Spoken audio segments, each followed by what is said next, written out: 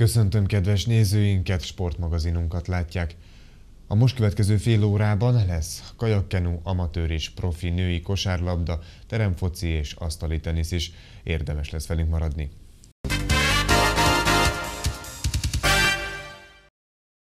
Mintegy 650 kajakos és kenus vett részt a Magyar Kajakkenu Szövetség és az Atomerőmű SL szervezésében megrendezett országos erőfelmérő bajnokságon.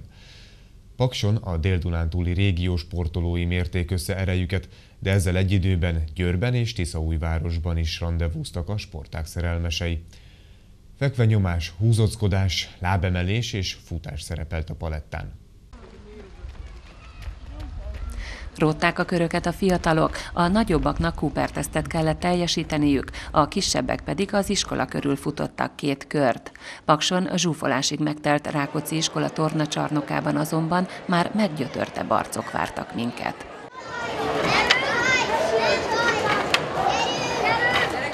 Lábemelés egy percen keresztül, de az ugyanennyi ideig tartó fekvenyomás és a húzóckodás is nagy energiákat mozgatott meg abban a mintegy 650 fiatal sportolóban, akik az országos erőfelmérő bajnokságon vettek részt Pakson.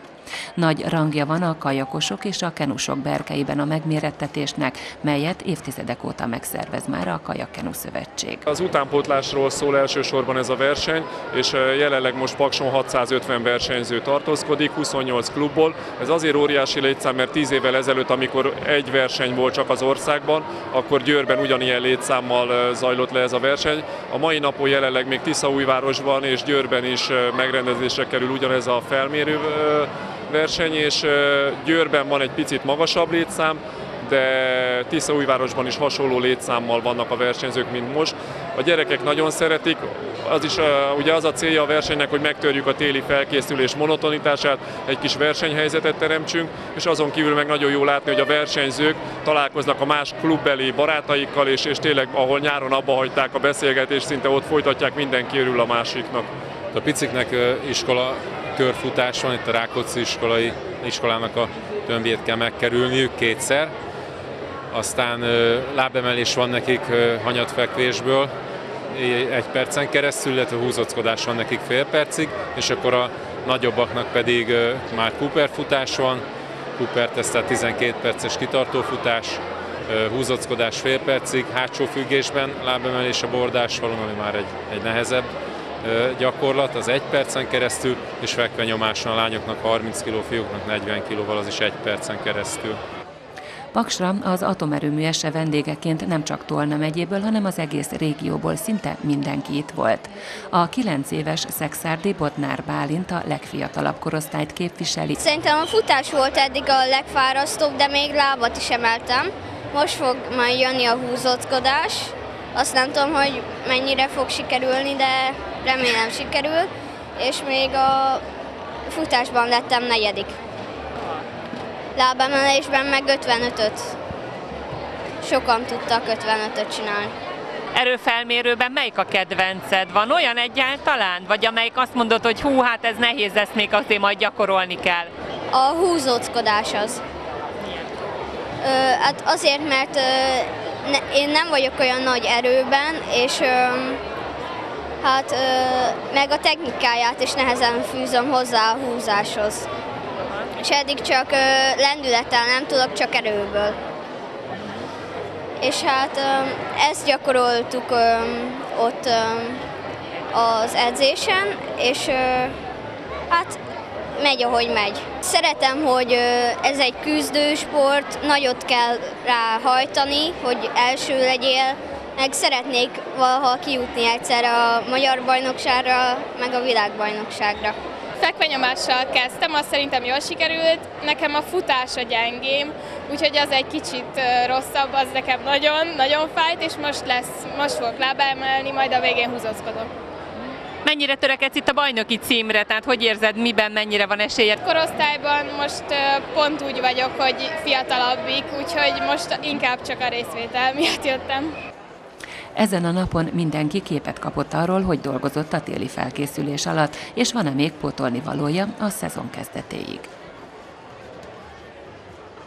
Teremtornát rendeztek a 10 éves Kozár Mislenyi sportcsarnokban. A szombati HR Rend kupa Old Boys torna ebédszünetében, akár csak annak idején összecsapott egymással, a 100 kg-nál nehezebb és a 60 évnél idősebb játékosokból álló két csapat. A jubileumi tornát a Pote együttese nyerte, a Toldi és a házigazda Kozár Misleny Hárrend előtt. Délelőtt az A csoport, vagyis a Suba, a Munyez, a Toldi és a Pote csapata, délután pedig a B csoportba sorsolt gárdák, azaz a GLT, a Kozár Misleny HR rend, a Kredi és a PVSK csapott össze a HR rend Old Boys teremlabdarúgó tornán. A kupa apropója, hogy éppen tíz évvel ezelőtt készült el a Kozár Mislenyi sportcsarnok. Tíz éves a sportcsarnok, 2007. februárjában volt az első alkalom, hogy megnyílott a sportcsarnok, és ennek keretében volt akkor is egy labdarúgó torna. Most nyilván egy kicsit kibővítettük, tehát vannak azért csapatok nem csak helyéből, hanem Pécs városából is, illetve ismét megrendeződik a 60 plusz és a 100 plusz labdarúgó mérkőzés, ami 10 évvel ezelőtt is megtörtént. Úgyhogy ebben nagyon örülünk, hogy ez így tíz év, reméljük a következő tíz évet is ugyanígy tudjuk tartani. Egyetlen egy lemondásunk volt csak a szederkény, de ők a betegség miatt, illetve a DD gáz azért nem tudott érkezni, mert pont a mai napon van a nagypályás öreg fiúk torna, és ők azért mondták csak le a tornát, különben tíz csapatosra terveztük a tornát, nem akartuk nagyon nyilván elnyújtani, de hát majd a harmadik fél időbe pótoljuk itt a lemaradást. A két négyes csoport van, a délelőtti tornának, a csoportnak annak jelen pillanatban az utolsó meccse zajlik. A szünetben, a két csoport szünetében lesz a 60 plusz és a 100 pluszos összecsapás, illetve a délelőtti csoportnak akkor van az ebéd. A délutáni csoportok azok egy órától kezdődnek, és mi úgy számolunk, hogy egy fél hat-hat felé eredményhirdetéssel zárni tudjuk a tornát. Annyit el szeretnék még mondani, hogy a Kozár Mislány elnöke sajnos nem tud itt lenni, mert volt egy komoly térműtétje. Ő szintén a torna mellé állt minden szempontból, hogy a két héttel ezelőtt a város szintén támogatták ezt a rendezvényt a csarnok biztosításával. Az akkori torna egyik legnépszerűbb mérkőzése a 100 kg-nál nehezebb és a 60 évnél idősebb játékosokból álló két csapat találkozója volt. A jubileumi rendezvény ebédszünetében újra összecsaptak a nehéz fiúk és a szeniorok. A torna résztvevőinek nagy része 10 éve is pályára lépett. A 100 pluszban és a 60 pluszban kizárólag olyanok vannak, akik 10 évvel is ezelőtt is. Nyilván van olyan, aki egy kicsit felszedett azért, hogy tudjon játszani a 100 pluszban. Nem könnyű, ugye 60 fölöttieknél már összeszedni a létszámot, de aki itt volt, az érkezni fog ugyanúgy a mostanira. A tíz éves Kozármislenyi sportcsarnokban az elmúlt időszak legnagyobb felújítása fejeződött be a közelmúltban. Új sportpadlót kapott a csarnok, és az új eredményjelzőt is hamarosan felszerelik. A Pink MB1-es kosarasai is itt játszák már mérkőzéseiket. Az Old Boys kupán egyszer 20 perces mérkőzések voltak. A Potegárdája két héttel ezelőtt megnyerte az öreg fiúk tornát, most is győzelmi reményekkel érkeztek Kozármislenybe. Jövő héttől kezdődik a nagypályás szezon, ezek a játékosoknak a nagy része a magyar válogatottnak a tagja. Elkezdjük jövő héten a hétvégén már játszunk a PMSC U19-es meg U17-es csapatával, az már nagy pálya és kinti. Készülünk egy orvosvilágbajnokságra, ami júliusban lesz Ausztriába, az előző kettőn. Egy ezüstérem is egy bronzérmet szereztük, hogy most nyerni akarunk nagyon. Amikor befejeződik a nagypályás szezon, elkezdődik a, a téli kispálya, akkor szinte majdnem minden hétvégén valamilyen tornán indulunk. Nagyon jó ez a parketta, nagyon jó pattan rajta a labda, széles a pálya, nekünk kedvezne, hogy passzolós csapat vagyunk. A HR rendkupa Old Boys teremlabdarúgó tornát a Pote csapata nyerte, a Toldi együttese és a házigazdák előtt.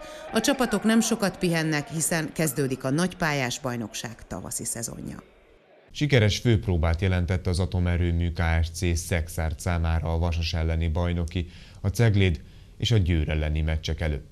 Egy fél időn át a fővárosiak felvették a versenyt, de a szünet után már visszaesett a Vasas. Így a Szexárt könnyedén 81-57-re nyert, és őrzi a harmadik helyét a tabellán. Hemzsegtek a jó egyéni teljesítmények az atomerőmű KSC Szexárban a Vasas ellen, amely ellenfél középszerű, de nem ponterős légiósaival és mélyvízbe dobott tehetséges modern kosárlabdát játszó fiataljaival egy félidőn át tudott csak méltó ellenfele lenni a szexádi csapatban, amelyben remekül mutatkozott be a Maja Csekics pótlására mindössze meccs előtt három nappal érkező amerikai irányító hátvéd Daniel Cheris, a kispadról érkezve a pályára irányító hátvédként dobott 15 pontot, adott 6 gólpaszt és elcsépett három lepattanót is. Könnyed és higany mozgású volt, mint általában a tengeren túlról érkező amerikai kosarasok többsége. Kellett ő nagyon, mert szinte egyszerre egy időben a Szexár mindkét irányítója, Maja Csekics és Tuder Ágnes is lesérült. A szerbjátékos számára, mint utólag kiderült, véget is ért a szezon. Végből beugrott egy új játékos, aki tudjon, hogy most kell beépíteni, mi elég szervezeten játszunk, szervezett kosárlabdát, minden két irányban, védekezésben, támadásban, és mikor jön egy olyan játékos, aki kb. nem játszott ebben a szisztémában, olyan sok információt kapja, akkor nem tud hol van, de ez a mellett is nagyon örülök például Serisnak, mert mutatta jeleket, amit nekem tetszett, és amit talán hasznosak lesznek nekünk, mint csapat. Uh, Összességében ez egy jó mérkőzés volt számunkra. A kiinduló pont megint a szinte végig jó védekezésünk volt. A biztos győzelem közepette azért előjöttek olyan hibák, amiket mindenképpen ki kell javítanunk a soron következő meccsek előtt. A cegléd aztán a győr elleni idegenbeli győzelemhez szinte biztos, hogy száz százalékkal mindenkitől.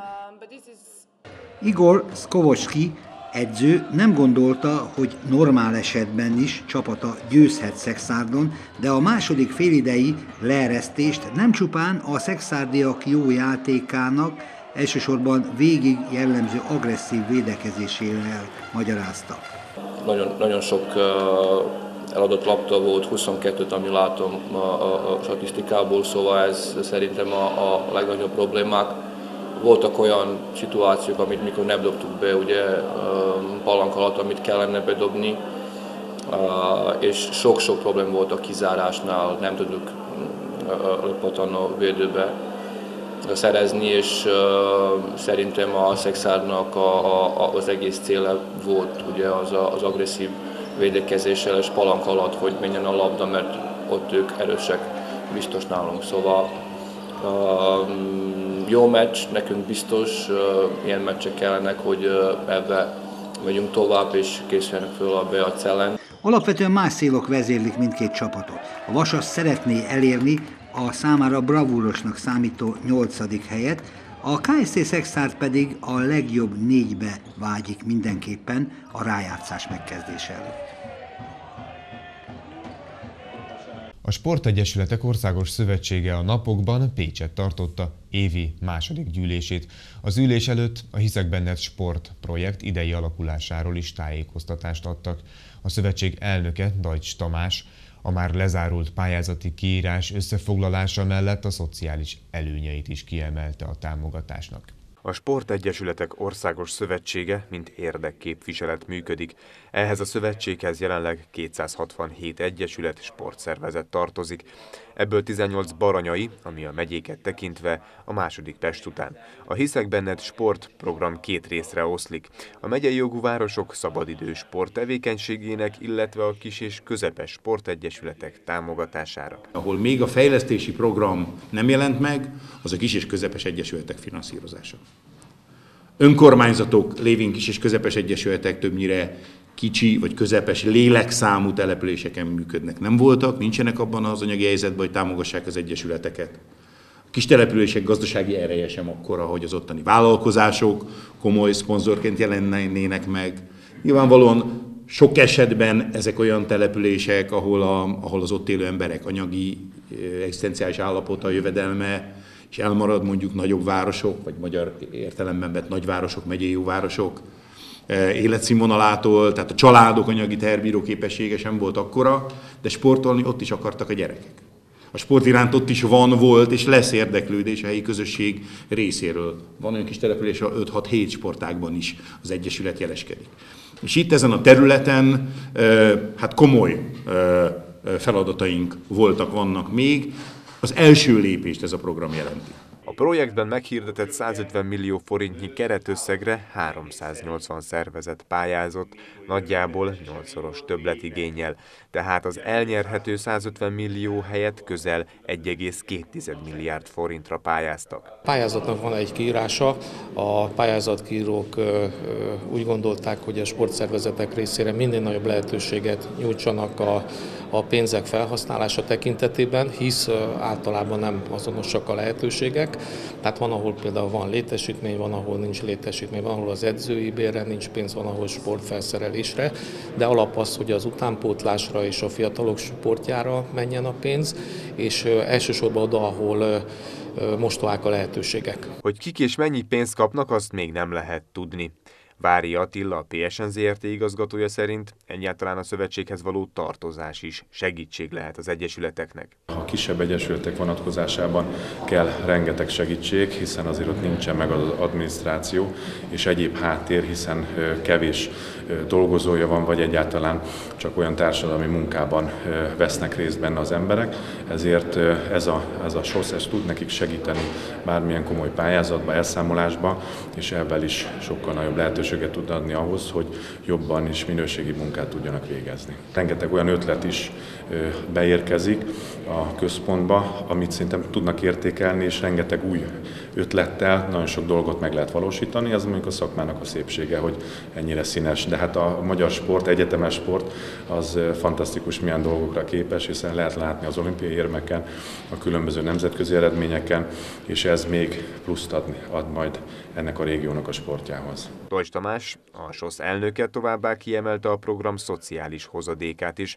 miszerint a sportolás körülményeinek megteremtése fontos, találkozásokat és építő jellegű közösségi élményeket teremted a jövőben. Bejutott a felsőházba az egykori PVSK-s játékosokból, edzőkből, munkatársakból alakult női kosárlabda csapat a Horváth Juditról elnevezett amatőr ligában. Az edző és egyben a csapatkapitány Iványi Dalma, aki a legendás irányító utóda volt az NB1-ben. Még az alapszakasz utolsó előtti mérkőzésére látogattunk el. A Baranya megyei Kosárlabda Szövetség szervezi meg a Horváth Judit Nyugati Liga női amatőrbajnokságot.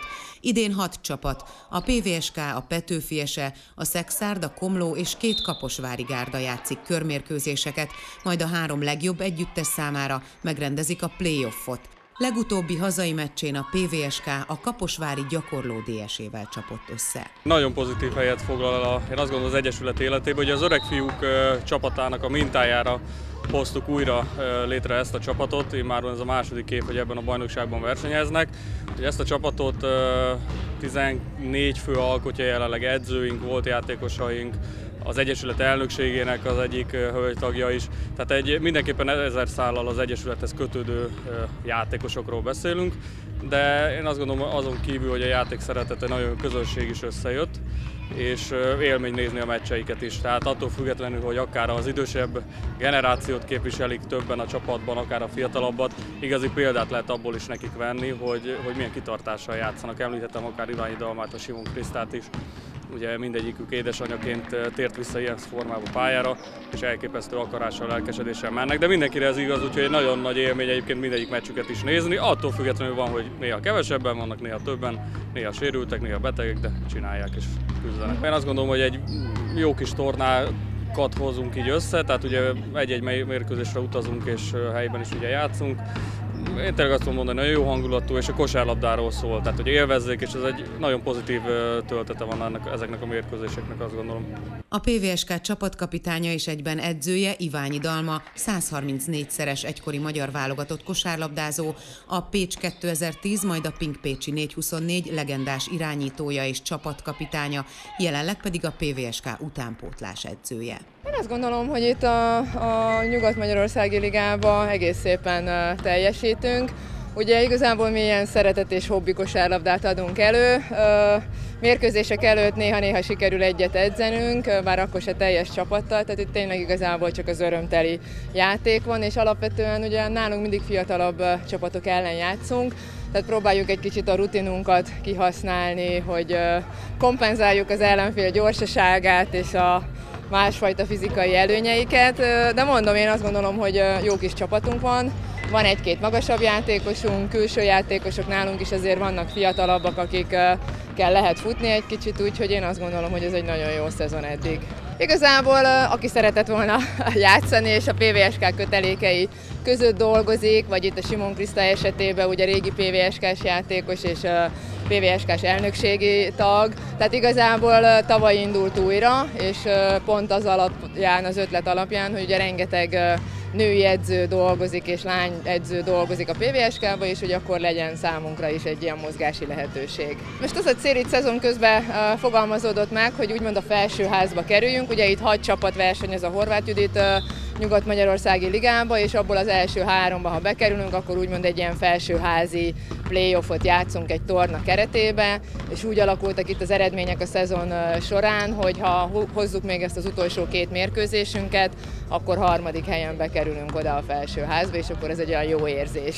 A találkozót 71-51-re nyerte a PVSK, így tovább nőttek a felsőházba jutási esélyei a Pécsi csapatnak. Iványi Dalma így értékelte a mérkőzést. Egy újabb meccset sikerült megnyernünk, ahol ismét az volt a fontos, hogy mi irányítottuk a ritmust, és támadásban jól mozogva megtaláltuk az ellenfél zóna védekezése ellen a megoldásokat. 45 egyesületben csak nem 1800 gyerek focizik a Bozsik Egyesületi Program 2016-17-es szezonjában. Az úgynevezett déli kupa keretében négy csapat vett részt a téli felkészülési tornán. Összeszervezte meg a PMFC az úgynevezett déli kupát. Itt az U8, U9, U10 és U11-es korosztály focistái vesznek részt. A PMFC fontosnak tartja, hogy a mérkőzések szünetében is játszanak egymással a csapatok. A szabadtéri műfüves pálya állapota és a hideg időjárás miatt a Kozármislenyi műfüves csarnokban játszották le a felkészülési mérkőzéseket a gárdák. A tornának nem kell nevezni, ez inkább ilyen edzőmeccs jelleggel. Ugye a az ősszel elindítottunk már egy úgynevezett déli kupát, ahol folyamatosan ugyanazok a csapok, csapatok jelentkeznek az U8, U9, U10, U11-ben. Itt az eszékről, a Kripán Bapics Akadémiáról, a Videótorról, a Kaposváról, a PMFC-ről van szó, és ehhez még kiegészül mindig egy csapat.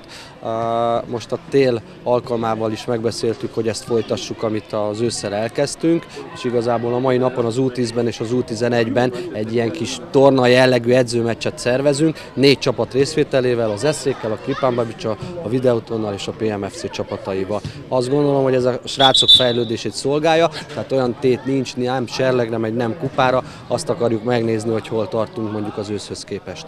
Igazából annyi, hogy most itt 5 plusz 1-es felállásban vannak a srácok. Ugye a magyar rendszer, ha a Bozsik rendszert nézzük, ugye itt 6 plusz 1-ről szólna a történet, ami már természetesen egy nagyobb pályát igényel, viszont itt az 5 plusz 1 ez ugyanaz, mint a felnőtteknél is az alapfelállási forma az úgynevezett kispályás fociba. Igazából semmi extrát nem kérünk a játékosoktól, annyit, hogy ami a képzési célba az adott hónapban cél, azt szeretnénk, hogyha viszont látnánk különböző tornák vannak, van egyszer a Bozsik torna, ott uh, annyit kell tudni, hogy a PMFC ezen csapataiban elég nagy létszámok vannak, értelemszerűen minden gyereket a saját színvonalához képest uh, lévő tornákon szeretnénk megmérettetni. A tornára a Videóton U11-es csapata is elfogadta a meghívást, akik jó kezdeményezésnek tartják a déli kupát. Ez jól illeszkedik minden csapat programjába. Ezekben a korosztályokban még nem rendeznek bajnokságot, hanem a Bozsik programban indulnak a csapatok. Ez egy ragyogó kitaláció, és nagyon jó, hogy kitalálták, mert rengeteg játékperccel, nagyon kevés pihenővel, sokat tudnak játszani a fiúk, és hát tökéletesen illeszkedik. Igazából ebben a korban nem mondhatunk és nem beszélhetünk felkészülésről, mert folyamatosan tornák vannak télen is, nyáron is. Itt mi nincsenek bajnoki meccsek, tehát nem felkészülés, de ragyogóan illeszkedik a programunkba, és még egyszer mondom, ez egy nagyon jó program, mert, mert ahogy az előbb említettem, sok játékperccel, kevés pihenővel ideális. Tehát nagyon jó. Nekünk azért nem szokatlan, mert mi műfűvön is készülünk, tehát műfűves csarnokunk van, ott edzünk, úgyhogy nem szokatlan, de természetesen sokkal másabb, mint a rendes sokkal gyorsabb, illetve a parketnál lassabb, hogyha valaki teremben szokott hozzá, az nehéz átszokni, de ez oda-vissza így van. Tehát ha valaki műfűvön készül, akkor a parketta nehéz, és fordítva ugyanígy van. Szerepelünk a kiemelt Bozsikban, egyel följebb, tehát az U11-es korosztályban szerepünk, és ott játszunk igazából majdnem minden meccset nyertünk, egy-egy döntetlen egy-egy vereségünk van. Nem, most jelen pillanatban a Bocsi programunk nem olyan erős, a, a régiós programunk, ha minden igaz, dolgoznak azon, hogy egy, egy komolyabb Szombathely Győr bevonásával egy komolyabb bozsiba bekerülünk, az, sokkal, az nagyon jó lenne, mert ugye a az erőviszonyok azért egészen mások ott. A Bozsik program fő célkitűzése a tömegesítés, a tehetségkutatás és a tehetségek fejlesztése. Ennek elérése érdekében a szövetség egységes, átlátható rendszert hozott létre, mely naprakész, hiteles és ellenőrizhető formában regisztrálja a programban résztvevő labdarúgókat. A verseny és képzési rendszer kialakítása megfelel az UEFA és a FIFA szakmai követelményeinek. Ennyi fért bele mai műsorunkba, köszönöm a figyelmüket, tartsanak velünk a jövő héten is, és ne feledjék, hogy a sportot nem csak nézni, őzni is jó. A viszontlátásra!